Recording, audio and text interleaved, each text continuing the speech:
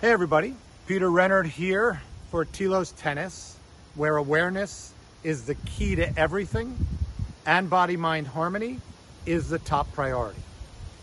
Because awareness is the key to everything, I'm going to be releasing a series of awareness videos where I call your attention to one thing at a time to become aware of.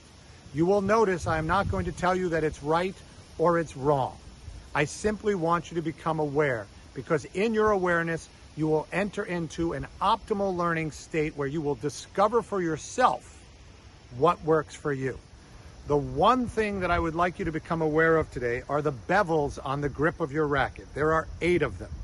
And the reason why I want you to become aware of them is anytime you hold any grip, you can figure out where you are on the racket by the bevels, whether you're using the V in your hand to see that it's on this bevel, or you're using the knuckle to see that it's on that bevel, that one.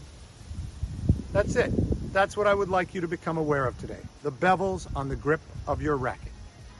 All right, Peter for TELOS Tennis signing out.